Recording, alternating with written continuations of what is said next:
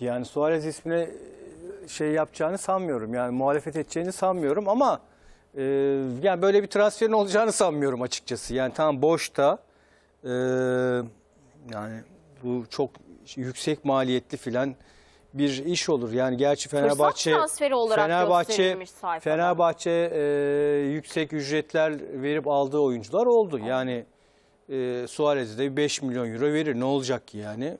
Ama oyuncu kabul eder mi, gelir mi? Sonuçta imza parası ne ister? Tabii ki bir fırsat transferi olabilir ama yani zor bir transfer. Olursa güzel olur. Ben de çok mutlu olurum bir futbol sever olarak. Suarez gelmiş. Ülkemizde, ligimizde oynuyor. Fener ben yani Jorge Jesus da herhalde yok kardeşim almayın bana uymaz ya da fazla yıldız falan demez herhalde yani. Ee, hoşuna gider. Emin Oldukça. olamıyorum. Çünkü daha önce Türkiye'ye gelen yıldız futbolculardan ne yazık ki ağzımız o kadar yandı ki. Emin olamıyorum bu kadar yıldız profili getirmek ne kadar galiba doğru. Atletico Madrid'de oynamış. Barcelona, Liverpool, Kariyeri Ajax yani müthiş bir kariyer. Ee, yani Türkiye e, bir fırsat olabilir onun içinde ya kariyeri açısından. Taraftar var. Avrupa var, Türkiye Kupası var, e, lig var.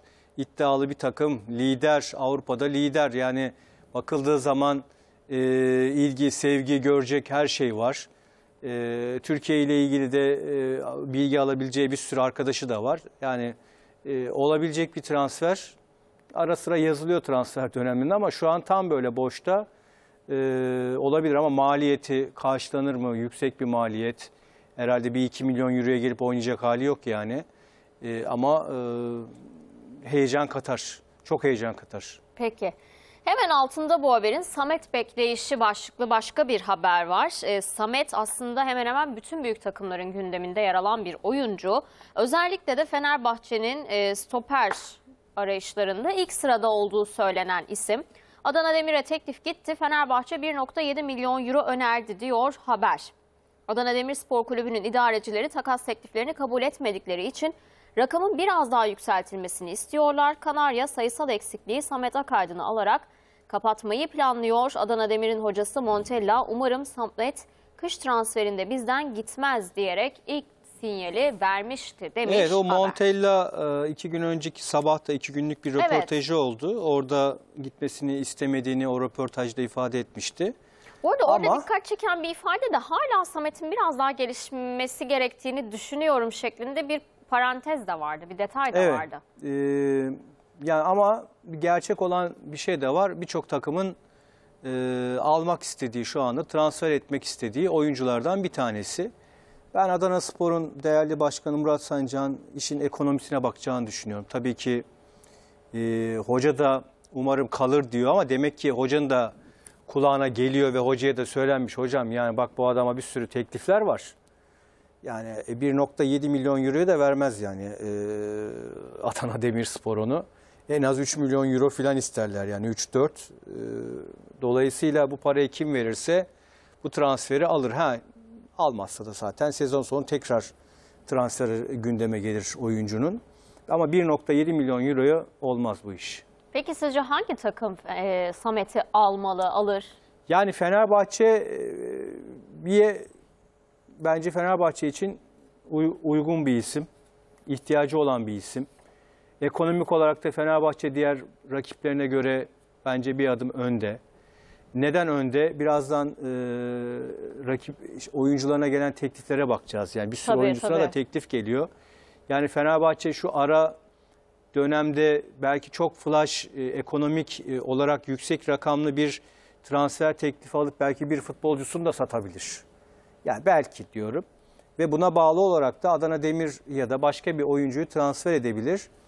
Ee, Beşiktaş Beşiktaş'ın da e, İlgisi var, ilgisi var. evet. Galatasaray'ın ilgisi var ama ben ekonomik açılardan e, en şanslı kulüp olarak e, Fenerbahçe'yi görüyorum. Yani oyuncu da e, Fenerbahçe'yi bilmiyorum isteyebilir. Yani sonuçta Cesus'la herkes çalışmak ister. Yani ben oyuncu olsam çalışmayı isterim açıkçası. Artı oyuncu olsam Avrupa'da olan bir takımda gitmeyi isterim. Oyuncu olsam şampiyonluğa oynayan bir takımda oynamayı isterim. Oyuncu olsam taksitlerimi zamanda yatıran bir kulüpte oynamayı isterim. Yani bu şartlara da bakarım. O zaman Fenerbahçe bir adım Yani Fenerbahçe Önde önde, önde diyebiliriz ama bu 1 mil- 1.7 milyon euroya da e, kimse Adana Demir kabul etmez onu da söyleyebilirim. Ya bence az bir rakam. Zaten haberde de, de- deniyor. Daha zaten bir ayın üzerinde bir süre Evet. var. Muhtemelen o pazarlıklar yavaş yavaş artarak ilerleyecektir diye tahmin ediyorum. Peki Fanatik Gazetesi'nin 3. sayfasına bakalım. Burada da Abu Bakar ismini görüyoruz. Fenerbahçe tanıdık bir ismi listesine ekledi diyor haber. Dünya Kupası'nda şov yapan Kamerunlu Yıldız için Sarı lacivertlilerin harekete geçtiği öne sürüldü. Yönetimin Abu Bakar'ın şartlarını öğrenmek için kulübü El Nasır'la temas kurduğu kaydedildi. Fenerbahçe golcü oyuncuyu satın alma opsiyonuyla kiralamak istiyor. Oyuncunun da Türkiye'ye dönmeye sıcak baktığı söylenmiş. Şimdi Abu Bakar da aslında e, geldiği zaman performans her türlü gösterebilen bir oyuncu ama özellikle Beşiktaş'tan gidiş şekli çok tartışılmıştı. Ya orada bir bir, bir, bir sorun var. Yani bir, bir oynamadı, bir şeyler oldu. Evet, Ama Beşiktaş'a katkısı oldu yani. tabii ki oldu. Yani şampiyonluk serüveninin son noktalarında işte e, yani orada başka bilinmeyen herhalde bir başka noktalar da var. Yani oyuncunun sakatlığının ötesinde o sözleşme işte bir rakam verip vermeme meseleleri filan öyle başka konular da var. O da e, gitti. Ya Abu Bakar e, yani şu an Galatasaray'da alsa çok iyi olur. E, Beşiktaş'a da olur, Fenerbahçe'ye de olur, Trabzonspor'a da olur. Yani imkanım olsa ben kulüp başkanı olsam maddi gücüm de varsa transfer ederim hiç düşünmeden.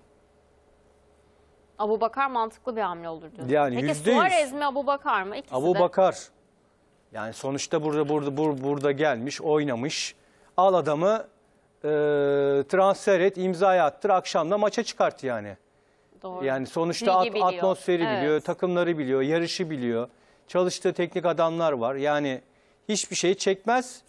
Ee, ve al- al- alan, takım da yani bayağı böyle bir, bir, bir güç kazanır. Bir onu bir öne geçirir yani. Ben öyle düşünüyorum. Ha, olur mu bilmiyorum tabii. Yani onun da bir maliyeti var sonuçta. Al e, Nasır'da kim bilir kaç milyon en az 5-6 milyon euro alıyordur. Yani kaça gelir ne olur? Yani o zaman Ee, maddi olarak Suarez'i getirmek belki de daha mı kolay Abu Bakar'a göre? Yani olabilir evet. Evet. Arap Yani coğrafyasından. ama birinde tabii 30 yaşı, biri 35 yaşındaydı Tabii, yanılmıyorsam. Suarez 35 yaşında. Ee, biri daha tabii çok marka, yıldız, Evet. önemli bir oyuncu. Biri ama ligimizde gelmiş, oynamış. Bana göre çok da başarılı olmuş, unutulmamış. Bugün Beşiktaşlara yine sorsanız e, bence muhalefet eden olur ama e, gelsin oynasın diyen de bir sürü oyuncu olur. Bugün Okan Burak'a deseniz Abu Bakar'ı sana alalım mı deseniz ne hayır mı diyecek yani. Hemen Gomis'le Seferovic de yollayın alın der yani. E, dolayısıyla e, ha, bence zor. Yani oradan aldığını bilmiyorum. Yani ben 5-6 dedim ama 7 milyon falan da olabilir yani aldığı ücret. Peki. Hemen bu sayfada bu haberin alt kısmında savunmaya Kanadalı duvar Waterman ismi dikkat çekiyor. Fenerbahçe'nin ABD MLS'te Montreal forması giyen Joel Robert Waterman'ın peşine düştüğü belirtildi. Almanya ve Avusturya'dan da talipleri bulunan 26 yaşındaki stoper Ocak'ta Avrupa'ya gelmek istiyor denmiş. Şimdi aslında yerli mi yabancı mı? Bu noktada tabii ki- belki buna karar verilecek Şimdi burada Fenerbahçe'de. tabii ki e, yerli, yani hoca ne dedi? Bir te- kontenjan dolu, dolu dedi yanılmıyorsam. Şimdi Pedro'yu e, şey yaparsanız hadi bir tane oraya bir şey yaparsınız. Ha arada birisini de satarsanız olabilir ama ben e, belki bir yerli bir yabancı olacağını düşünüyorum. Yani savunmaya da e, Samet ismi bana daha şey geliyor, yakın geliyor. Yani yabancı olmasından öte yerli bir oyuncu transfer etme ihtimalleri daha kuvvetli geliyor.